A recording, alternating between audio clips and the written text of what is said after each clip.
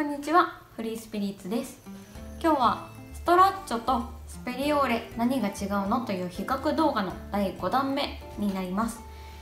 今日はストラッチョとスペリオーレそれぞれどういった方におすすめかどういう使用シーンがあるかなどをご紹介していきます。えまずストラッチョの方なんですけれども、えー、これは基本的に、えー、サブ財布で使う方また薄くて小さいお財布をお探しの方におすすめです、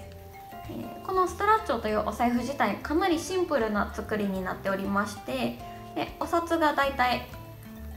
10枚程度。小銭が15枚カードが5枚入るようなタイプになるんですけれども、えー、これを使った時の感想としては使い勝手としてはめちゃくちゃいいです。で容量も最低限入るなという感じなんですがカードだけこのホックにちょっと後ろが引っかかってしまうかなと入れる時に、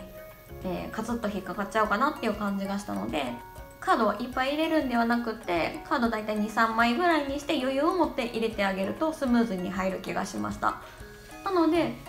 えばお仕事用で、えー、ちょっとランチに行く時のお財布とかちょっと、えー、コンビニに行く時に持っていくようなお財布ちっちゃめのお財布っていうことで、えー、サブ財布にお使いいただくのがぴったりかなと感じました。対してストラッチョスペリオーレの方は、え、同じく薄くて小さい財布お探しの方におすすめなのとお財布を長く使われたい方また、えー、メイン財布を小さくされたい方におすすめのお財布となっております。裏側に革の張りがされていたりですとか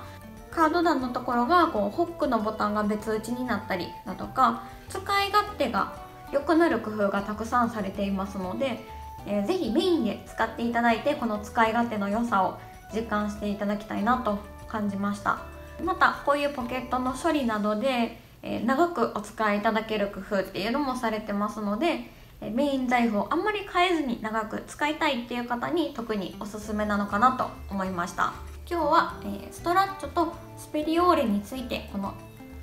特徴を比較するっていうことで、えー、5本にわたってご紹介させていただきました。いかがでしたでしょうか？ご不明点などございましたらぜひぜひコメントの方で質問していただけますと